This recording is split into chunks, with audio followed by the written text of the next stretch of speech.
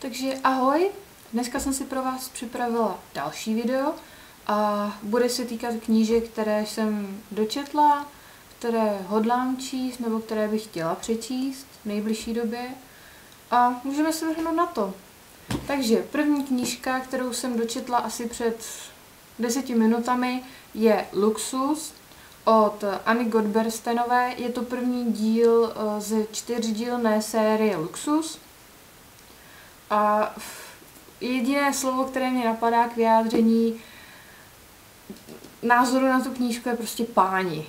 Nečekala bych, že mě to tak natchne, když jsem tu knížku začala číst, tak to bylo takové strašně zmatené, spousta lidí, spousta postav. Trvalo mi, než jsem porozuměla všem těm vztahům, kdo tam mezi sebou co má, jak, jak jsou příbuzní. Ale na konci teda páni. Už se těším na druhý díl, bohužel blbec, blbec já. Eh, když jsem si kupovala tenhle ten jeden v levných knihách, tak jsem si nekoupila rovnou druhý. Ten se jmenuje Intriky a teď se prostě nedá nikde sehnat. Byla jsem ve dvou různých knihkupectví, všude by se to muselo objednávat, takže nemůžu pokračovat hned, musím počkat, až ten druhý díl objednají, takže mám tak zhruba hm, týden, možná ještě o něco díl pauzu, kdy prostě nemůžu číst. A ještě ke všemu mě ta knížka bude stát o dost víc, než by mě stála v mých knihách, takže to jsem trošku naštvaná, ale ten luxus, to je, to je luxus. Fakt, že jo. Hrozně moc jsem si to užila a těším se, těším se na další díly a jsem zvědavá, jak to dopadne. A ty obálky, jako dámy v šatech, hmm. nádhera. A teď teda k tomu, co plánuju číst. Teď jsem v takové fázi, um, trošku historických románů a historických děl, takže jako další, než mi přijde uh, ten navazující díl k luxusu, tak si chci přečíst obraz Doriana Gray od Oscara Wilda. Asi všichni znáte. Uh, je to knížka, která je většinou v povinných četbách k maturitě, taky jsem ji tam měla. Je to jedna jediná knížka, kterou jsem si zapsala a nepřečetla, takže jsem se modlila, abych si ji nevytáhla. A myslím, že teď už je čas si začít číst. Myslím, že teď jsem naladěná na tu historickou vlnu, takže to bude zajímavé. A jsem zvědavá, jestli se mi to bude líbit nebo ne.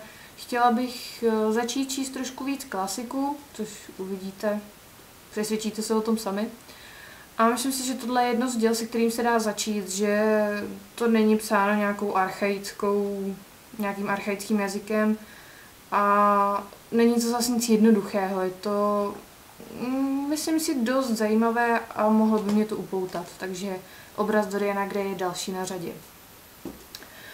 Pak tu mám další klasiku od Emily Bronteové na Větrné hůrce. Uh,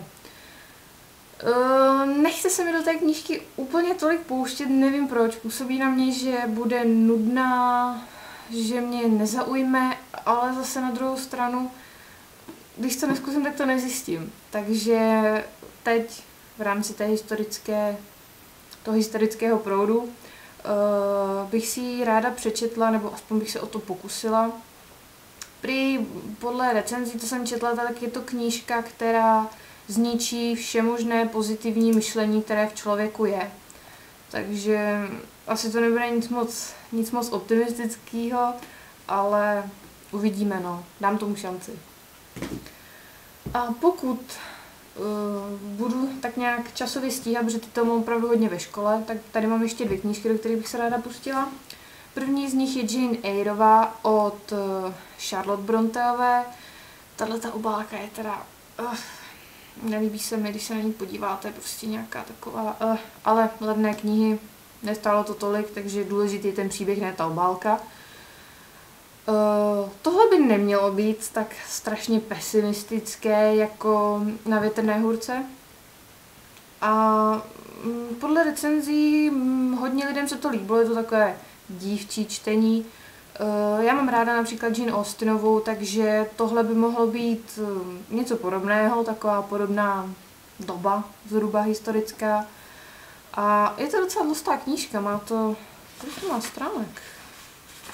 No, tady vysvětlivky, má to nějakých přes 500 stránek, takže je to docela dost, ale mm, ta písmenka nejsou úplně malá, ten papír je takový, no, není to tak tlustý.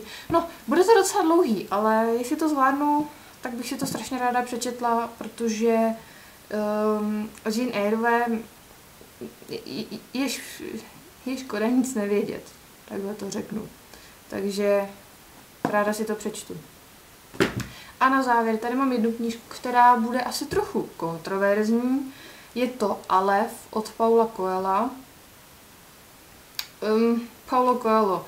Co k tomu říct? Uh, je to autor, který, kterého tolik lidí nemá rádo. Um, je to komerční autor, ale já jsem od něj četla, uh, no, Alchymistu, mi to vypadlo Alchymistu, líbilo se mi to, nebylo to nic uh, objevného, ale byla to taková hezká, příjemná pohádka, dá se říct.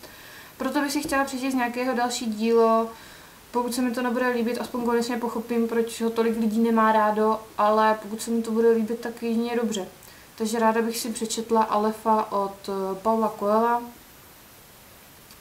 Mělo by to být o cestování a o příbězích během toho cestování, takže uvidíme, no. Ta obálka je taková jednoduchá, ale svým způsobem hezká. Takže vidíme, no má to oranžový vnitřek, takový docela vyzývavý jako na čtení, takový jako, že hej, oranžová jsem tady, přečti si mě. Tak uvidím, no. Takže tohle to jsou čtyři knížky, které bych chtěla číst. Vypadá to, že to je hodně stránek, no, tak uvidím, jestli to stihnu ještě tenhle měsíc. Snad jo. No, bude nálož docela. A až mi přijde další díl Luxusu, Intriky, tak do toho se pustím, protože říkám vám, tady v téhle knížce je teda něco úžasného, takže přečtěte si to, určitě to doporučuju a pokračování doufám bude ještě lepší a ještě zamotanější. Má to další tři knížky, takže zamotané to asi bude, aby měla autorka o čem psát, ale fakt se na to hrozně moc těším, jsem úplně taková nadšená, jak jsem to teď dočetla, takže snad budu mít čas hodně číst, no. Tak jo, tohle teda bylo video o knížkách teď, do budoucna, snad možná, které přečtu. A doufám, že se vám líbilo. Jestli máte nějaké uh, komentáře k těmhle těm knížkám, co byste mi třeba doporučili přečíst jako úplně první, nebo uh, prostě vaše názory na ty knížky, určitě mi to napište tady dolů do komentářů, moc ráda si to přečtu. A snad se uvidíme brzo. Tak ahoj!